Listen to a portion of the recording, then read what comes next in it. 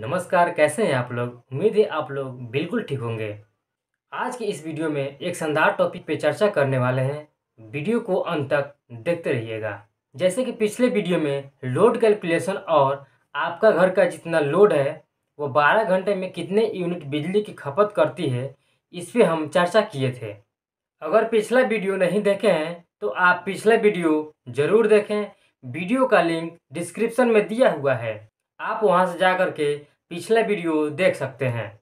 क्योंकि पिछले वीडियो को ही हम यहाँ से कंटिन्यू करने वाले हैं, जिसमें 12 घंटे में बिजली की खपत जो हो रही थी, वो लगभग 17 यूनिट की हो रही थी। अगर आपके घर का 17 यूनिट बिजली की खपत है तो आप उस पर कितने वाट तक का सोलर पैनल को कनेक्ट करेंगे, जिससे कि आपका बिजली बिल ज़ीरो हो जाएगा, आज हम उसी पे चर्चा करने वाले हैं।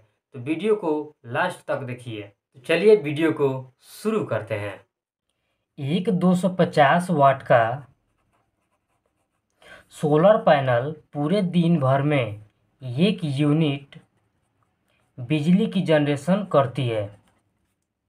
इसी हिसाब से एक हज़ार वाट सोलर पैनल पूरे दिन में एवरेज चार यूनिट पर डे बिजली की जनरेशन करेगी।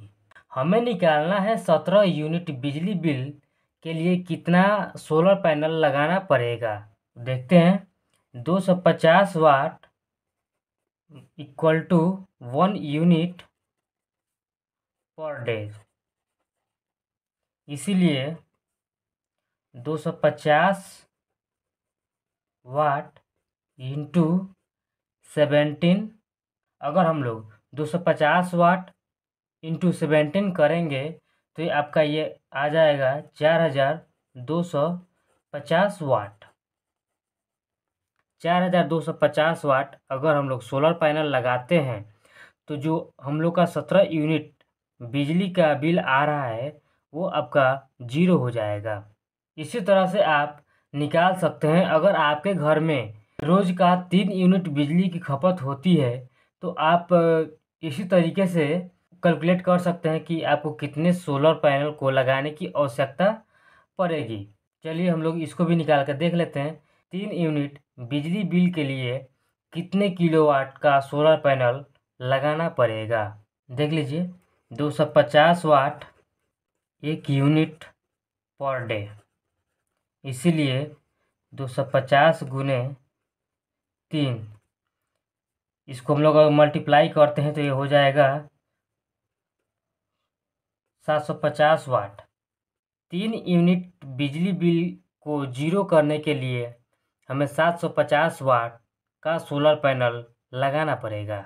इसी तरीके से आप अपने घर का कितने यूनिट बिजली की खपत हो रही है और उस बिजली बिल को ज़ीरो करना है तो हमें कितने वाट का सोलर पैनल लगाना होगा आप डिसाइड कर सकते हैं। तो चलिए वीडियो में इतना ही रखते हैं। अगर इससे रिलेटेड आपको कुछ भी डाउट हो तो आप कमेंट सेक्शन में पूछ सकते हैं। उम्मीद है आप लोग का डाउट क्लियर हो गया होगा। अब हम अगले वीडियो में चर्चा करेंगे कि 150 एच बैटरी को चार्ज करने में कितने यूनिट बिजली की खपत होती है। तो दोस्तों, बस आज के लिए इतना ही रखते हैं। वीडियो को अंत करने से पहले आपसे एक रिक्वेस्ट है कि आप मेरे चैनल को सब्सक्राइब कर लीजिए और बेल आइकन को प्रेस कर लीजिए, जिससे कि आपको आने वाली अगली वीडियो की नोटिफिकेशन मिल जाए। तब तक के लिए जय हिंद।